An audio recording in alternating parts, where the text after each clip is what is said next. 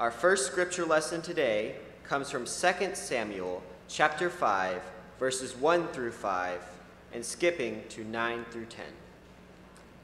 Then all the tribes of Israel came to David at Hebron and said, Look, we are your bone and flesh.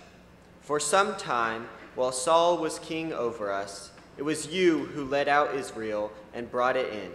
The Lord said to you, It is you who shall rule, shall be shepherd of my people Israel, you who shall be ruler over Israel. So all the elders of Israel came to the king at Hebron, and King David made a covenant with them at Hebron before the Lord. And they anointed David king over Israel.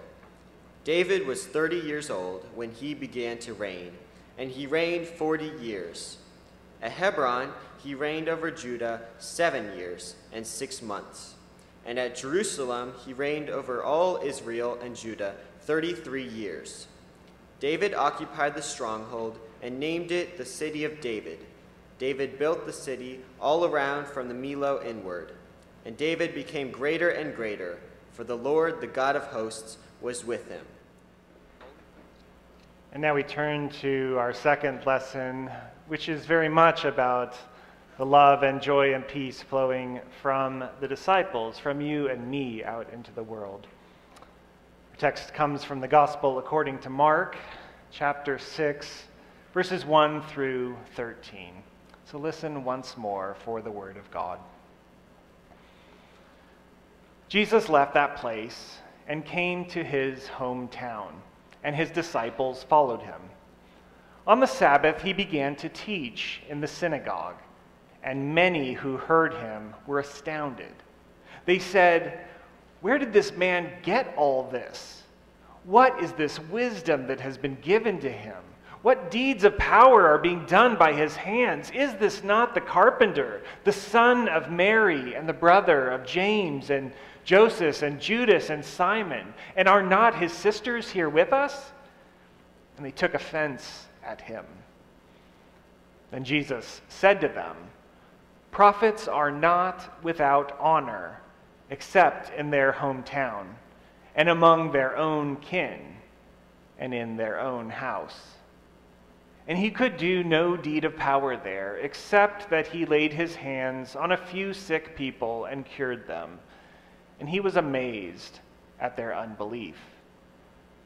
Then he went about among the villages teaching. He called the twelve and began to send them out, two by two, and gave them authority over the unclean spirits. He ordered them to take nothing for their journey except a staff. No bread, no bag, no money in their belts, but to wear sandals and not to put on two tunics. He said to them, Whenever wherever you enter a house, stay there until you leave this place. If any place will not welcome you they, and they refuse to hear you, as you leave, shake off the dust that is on your feet as a testimony against them. So they went out and performed and proclaimed that all should repent. They cast out many demons and anointed with oil many who were sick and cured them. Holy wisdom, holy word. Thanks be to God.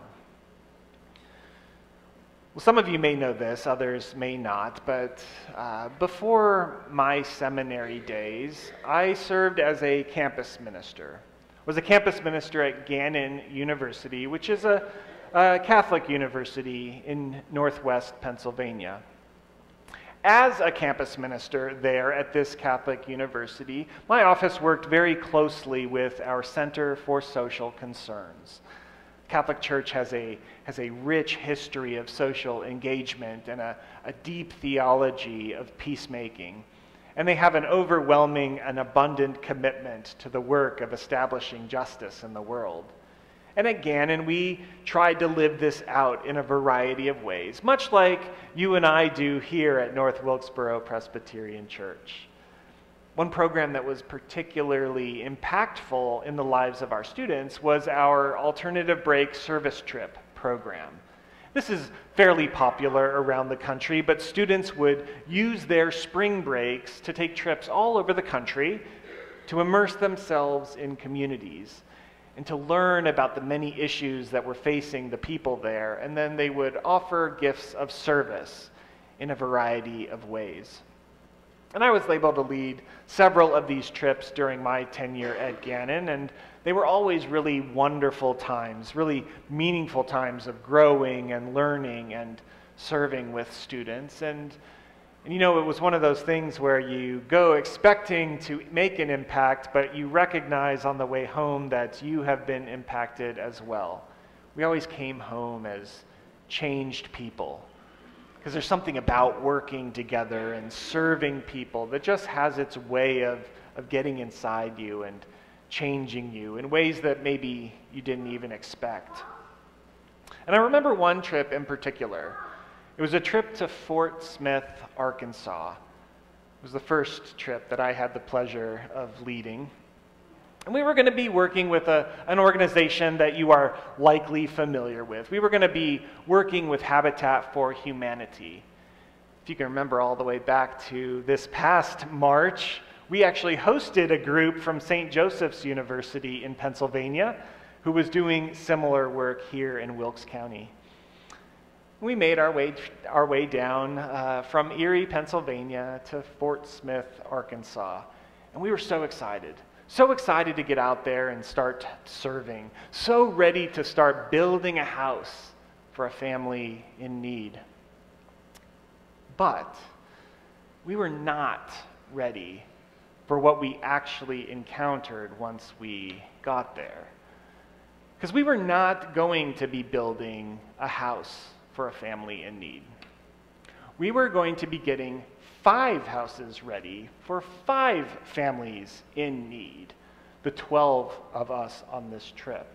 It just so happened that our spring break up in northwest Pennsylvania fell a week before most of the colleges and universities in the area, and so we were doing all of the prep work for the group that the groups that were going to come in behind us and actually do the work of building the walls and raising the roofs we had to get the foundations of those homes ready.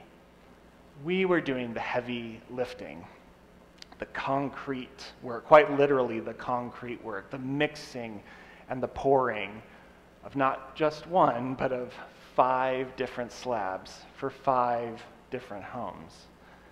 And there was this mountain. I mean, an enormous mountain of material, of, of concrete and stand and stone that we had to work with.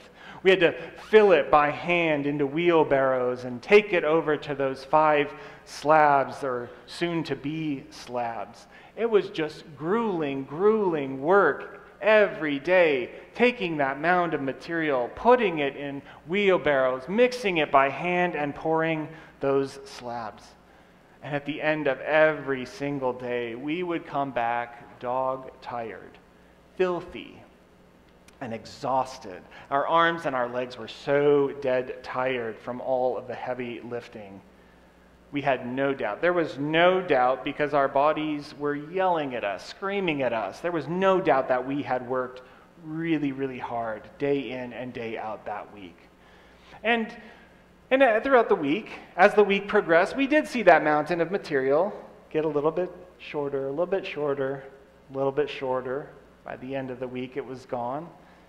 And we saw those slabs slowly and steadily become flat and smooth and strong.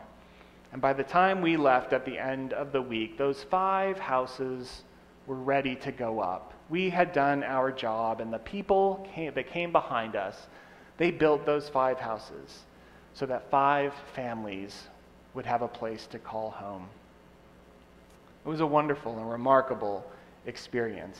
And we worked really, really hard. But one of the things, one of the things that, that Habitat for Humanity does so very well is that they, they are providers. That's what they do. Not just, not just providing homes for people who don't have a home, but they provide for the people who are serving as well. People in the community would donate meals for us to eat. So every day, every day on the work site, we were given lunch. And every night when we got home and after we were cleaned up, we were given dinner. Usually, some church would provide something for us to eat, much like we did for those students of St. Joe's who joined us at Kirk Night that Wednesday evening. And other times it was just people in the community who provided for us.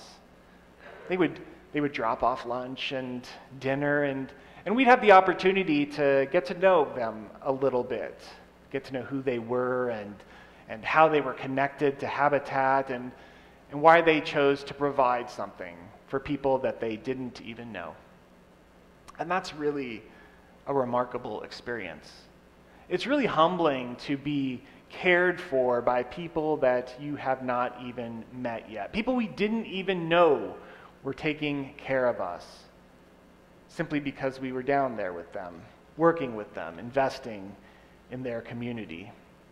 But those weren't, those weren't the only people we knew.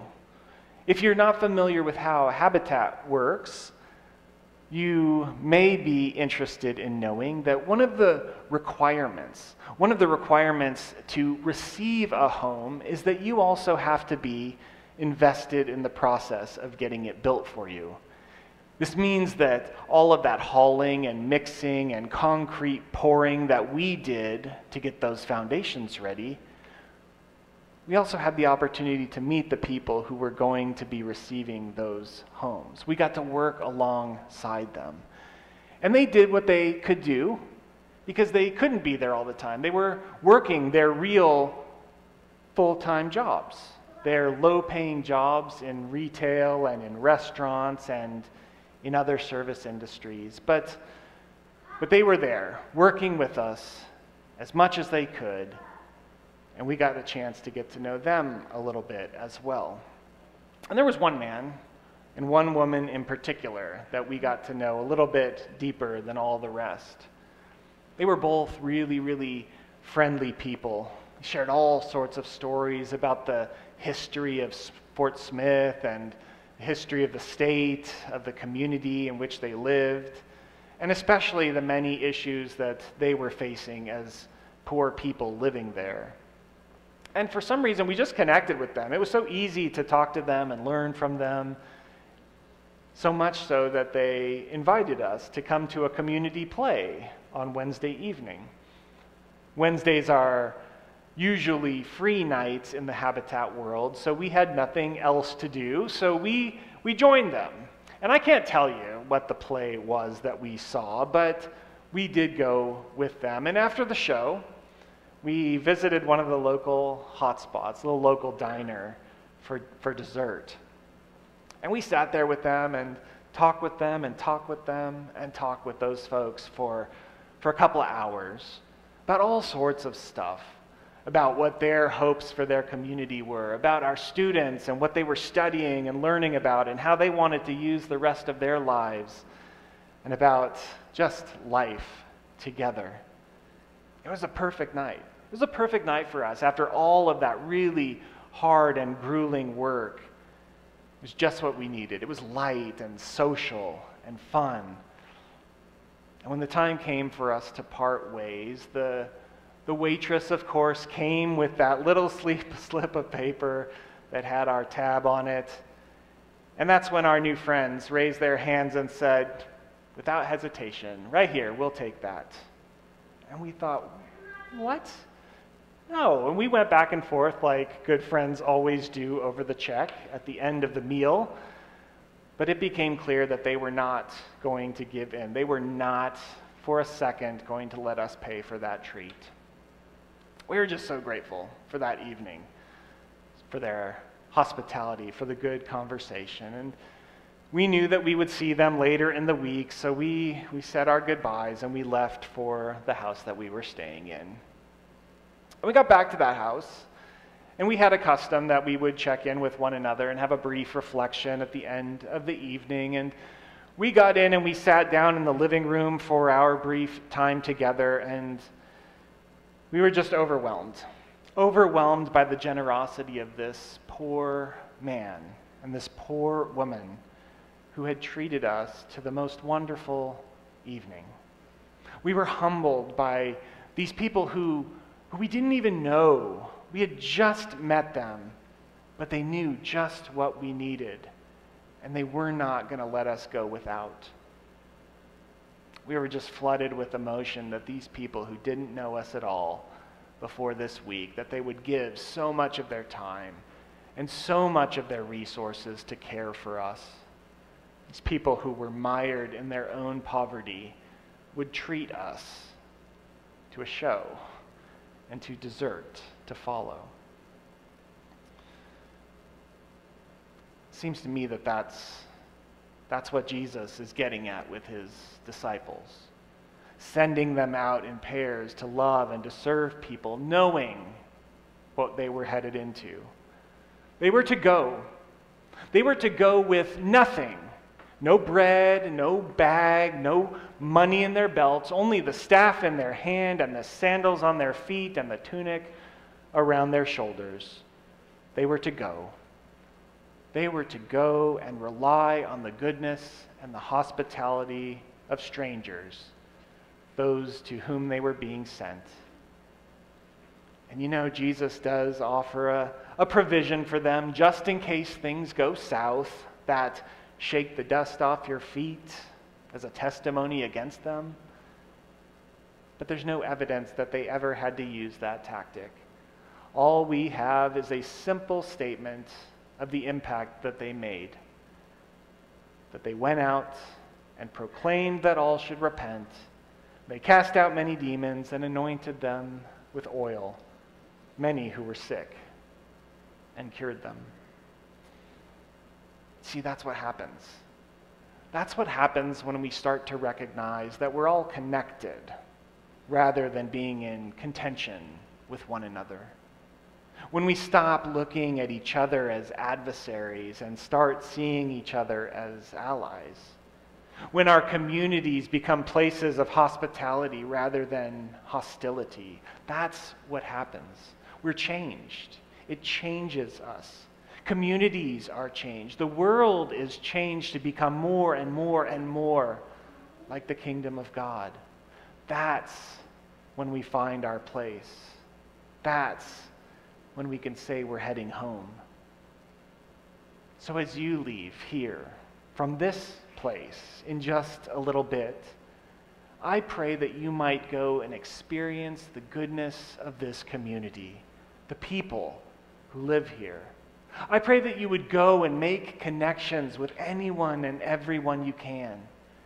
And as you do, as you do, I pray that you would be changed as God works in you, as God works through you, and as God works in and through our community as well. So go. Thanks be to God. Amen. And now we go from the comforts of this place out into a world that God so dearly and deeply loves. We go as people who have been changed by the love of God inside of us, and now we go out to be changed by a community that is ready and willing and able to welcome. If only we would go. If only we would make connections. If only we would meet anyone and everyone around. So go. Go and be changed people. Go and make connections with those around you. Go and let God work in and through you, and let God work in and through a community in need as well. So go, and go with this blessing. May the grace of our Lord Jesus the Christ, may the love of God our Creator, and may the partnership of the Holy Spirit, the Lord and giver of life, may that God go with you and with me and with us together this day and forevermore. Alleluia. Amen.